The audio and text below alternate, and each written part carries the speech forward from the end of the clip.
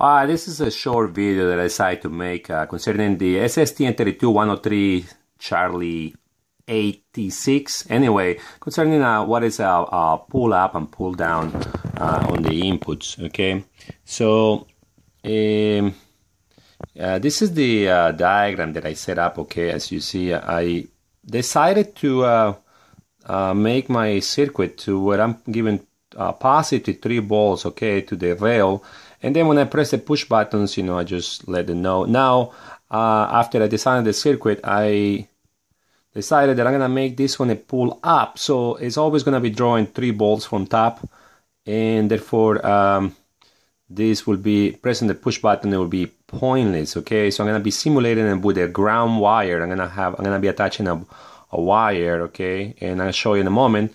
And I'm gonna be touching uh, this side of the pin so that I can actually put a, a ground over here because like I said PA2 I'm gonna be setting it up as a pull up okay?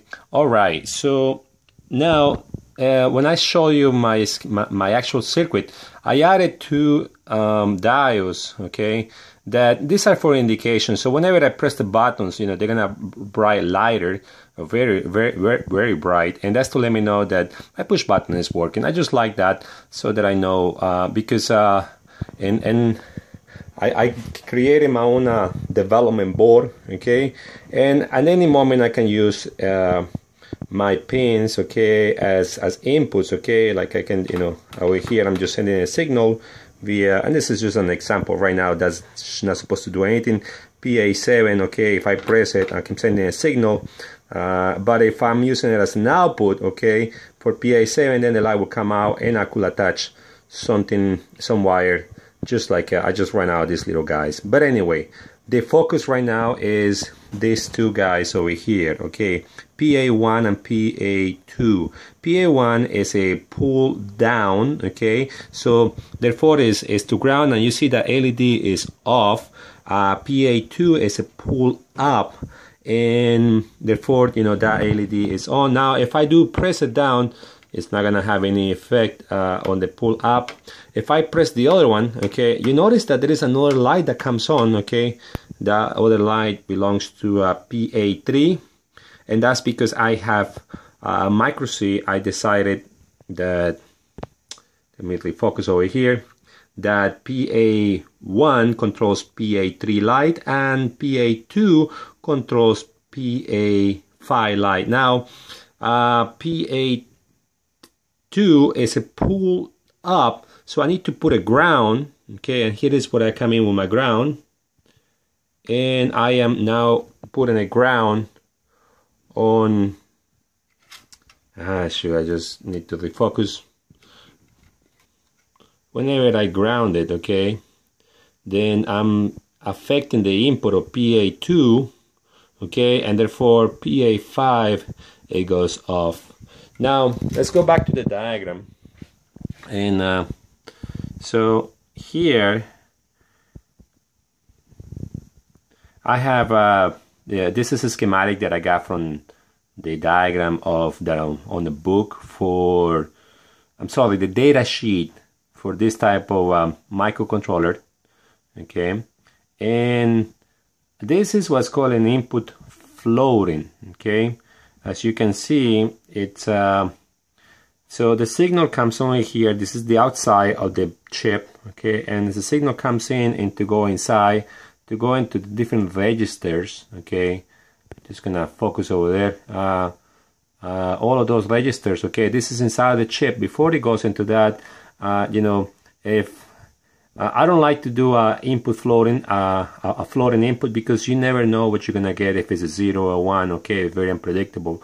But um, if you do a pull up, okay, that's what a pull up.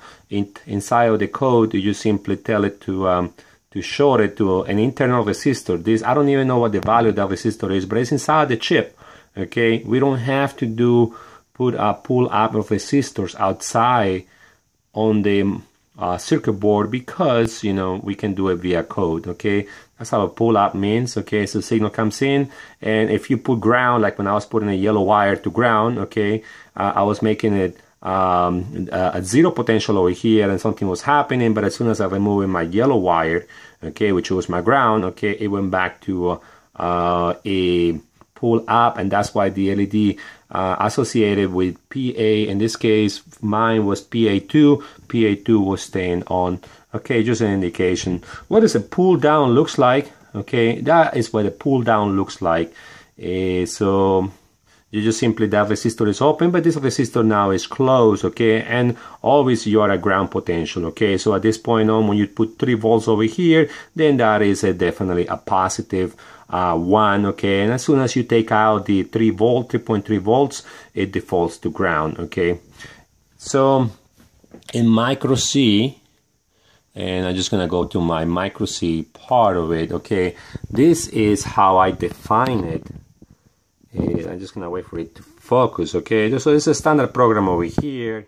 Here I just simply activate um, the um, register A okay because I'm working with register A so I'm energizing the clock on that register okay very important step to do for this type of microcontroller then after that in here I'm just uh, uh, resetting putting these values into the into the lower uh, bits and the higher bits, okay, the setup of the register so that my mode and my uh, C and F for all pins are just in a what is called the reset state, okay. Then after that came over here and I needed a GA uh, point uh, PA1, so this is PA1, so port A1, okay, and that is this guy over here, okay.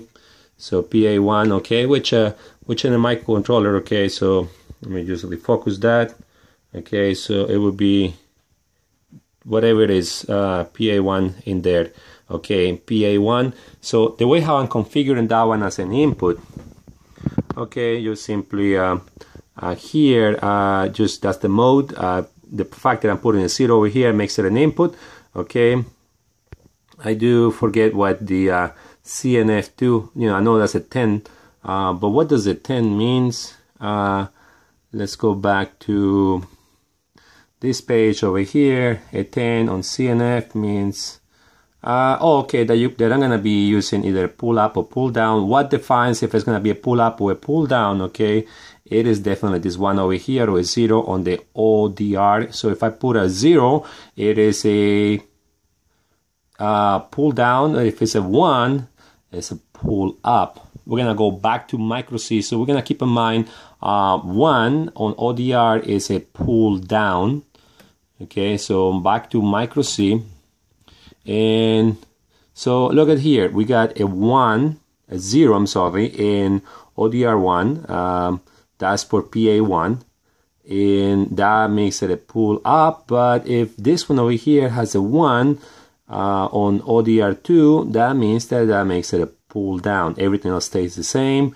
Okay that is this is well as you can see the MikroC uh, code now I'm gonna go to I'm gonna go up a little higher and here is where I make the decisions of what's going on okay? I just ask okay uh, in an infinite while loop okay? If the pin, um, uh, well, general purpose input and output port A, and if the input um, data register IDR bit number one, okay, uh, which that corresponds to once again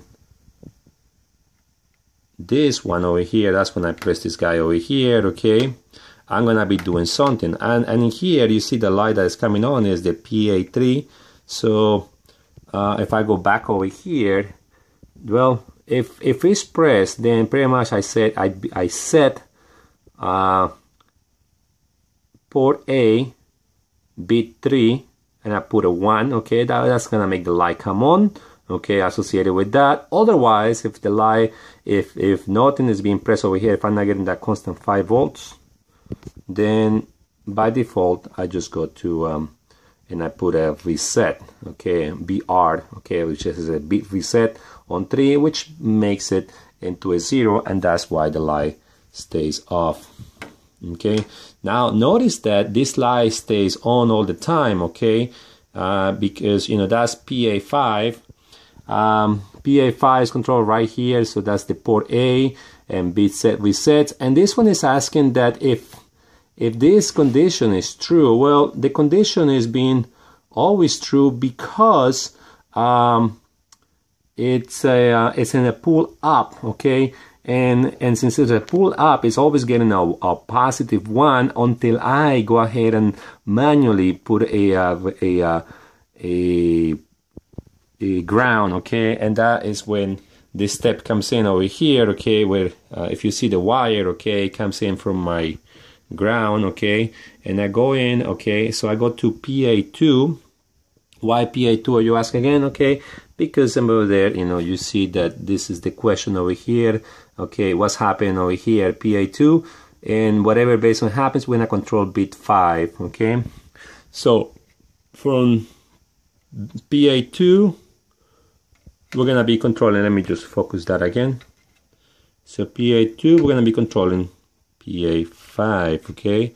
And I'm just gonna touch it okay? PA5 is always on until I ground it and then it just goes off okay there you go. Now I got a solid connection okay? Now this over here this LED is staying on because remember this is my my feedback report my, my feedback concerning what's going on at PA3 okay? And that is that this is being fed uh, via the pull up resistor okay? So this is an input light. This is an input light. I like to have uh, like I said, you know, I just when I decided this design this circuit, I made it so I can use my inputs and my outputs uh, interchangeably, so I don't have to redesign a circuit every single time that I'm going to be doing different projects. As you can see, I already got it set up for TX RX Communications, a project that I'm planning to do in the future uh, with my phone with a phone app that I designed.